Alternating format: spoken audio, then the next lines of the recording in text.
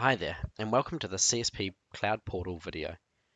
Today we're going to cover how to add another subscription to an existing tenant. This is a really simple process to complete. So firstly, what we want you to do is jump inside your dickerdata.co.nz login, and you're going to head to the Manage and Subscriptions section. Here you'll see a list of available programs. You want to select CSP, and then you'll see a list of your customer details. Find the customer you want, search for the tenant name, or simply find them in the list and click Manage. You'll see a list of their subscription details underneath the customer information. You can quickly modify quantities if you need to from this section. Let's say your customer needs a new license type. Perhaps they're adding CRM.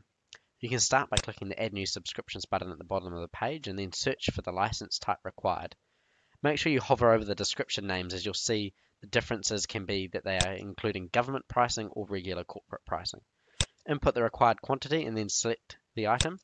You can go ahead and add others or close and simply jump back to the management page. The ones that you've selected will be pending a couple of details.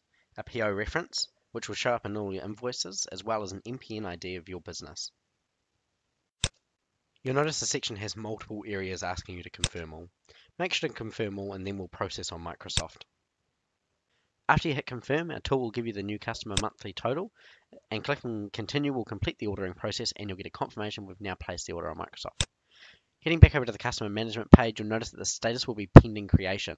After a couple of minutes, reloading the page will update the status to active and the licenses are now already available in the Office 365 tenant to assign to your users. The invoicing for this new subscription will be pro rata charged from the day you've processed until the next billing date for your customer. For more information on billing processes, please see the How Invoicing Works video in this series. Thanks.